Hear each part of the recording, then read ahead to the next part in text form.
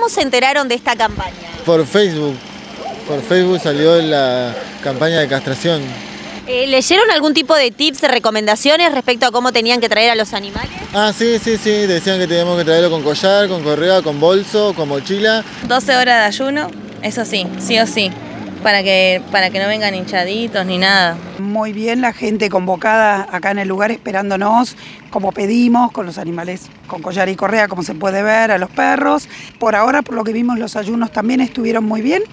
Y bueno, sobre todo la paciencia que le tienen a sus mascotas, las esperan acá se han quedado haciéndoles el aguante y la gente está contenta, está contenta porque saben que esto es un beneficio para sus animales y además es gratuito. La cirugía varía de, especie a especie, o sea, para los perros siempre lleva más tiempo, por eso es que arrancamos castrando a los gatos.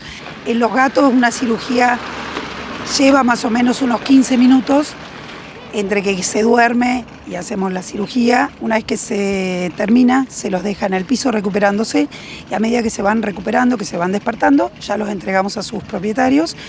Y entre los caninos también la cirugía de una hembra es más larga que la del macho. Entonces, bueno, vamos alternando según cómo viene la espera. Llevará 20 minutos, media hora. Las hembras entre los 5 y 6 meses tanto felinas como caninas, y los machos siempre arriba del año. Aclaro, porque mucha gente me dice, ah, pero mi veterinario dijo que menos de un año se puede operar. Sí, claro que se opera. Nosotras no lo hacemos, no lo hacemos en el área, no lo hacemos, quiero decir, en la calle Ecuador, ni lo hacemos acá, porque sabemos que le generamos un problema futuro. Entonces, siempre esperamos a que tengan un, un año por lo menos. En realidad, el jueves vamos a estar acá en el playón de Vietma y Trevelin Vamos a estar, eh, bueno, haciendo lo mismo con las mismas características, por orden de llegada. Seguramente habrá más gente. Eh, dicho sea de paso, hoy tuvimos una persona que vino desde Los Olmos, obviamente la rebotamos. La gente tiene que entender que esto es para la gente de los barrios aledaños.